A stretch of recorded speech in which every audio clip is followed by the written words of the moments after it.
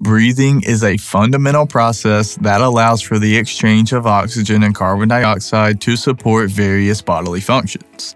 The lungs, which serve as the primary organs of the respiratory system, are responsible for this essential exchange. However, you must not forget that this intricate process is made possible by the coordinated effort of several muscles working in unison, which is what we're going to discuss in this video, including the muscles involved in the process of respiration.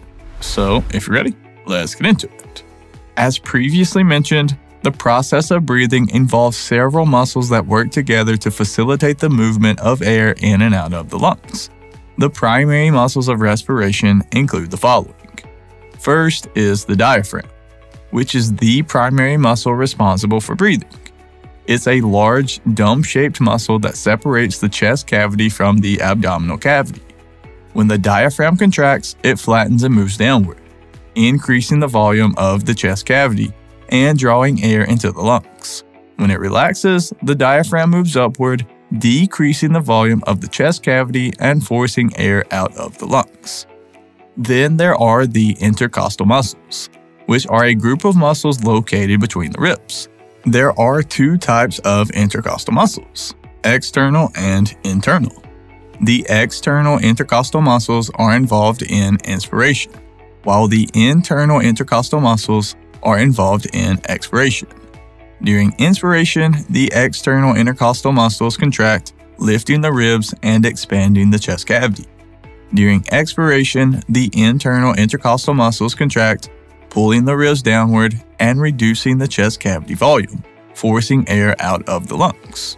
And then there are the accessory muscles of breathing, which are used mainly during heavy breathing or when the body needs additional help to move air in and out of the lungs.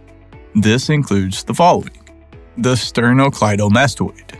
These muscles are located on either side of the neck and help lift the sternum and the upper ribs, further expanding the chest cavity during inspiration. Then you have the scalene muscles. Located in the neck, these muscles help to elevate the upper ribs during a deep inhalation. The pectoralis minor. This muscle located in the chest also assists in elevating the ribs during a forceful inhalation. Abdominal muscles. These include the rectus abdominis, transverse abdominis, and the internal and external oblique muscles. They help in forceful expiration by compressing the abdominal cavity, which pushes the diaphragm upward, reducing the volume of the chest cavity and forcing air out of the lungs. And some other accessory muscles. Additional muscles, such as the serratus anterior and latissimus dorsi, may also assist in deep breathing, particularly during exercise or other activities that require increased respiration. If you want to support the channel, please like and subscribe, I would greatly appreciate it. And there should be some other helpful videos popping up on your screen right about now that I think you will enjoy. And just a quick reminder, we are not doctors, this video is for informational purposes only. Thank you so much for watching. Have a blessed day. And as always, breathe easy, my friend.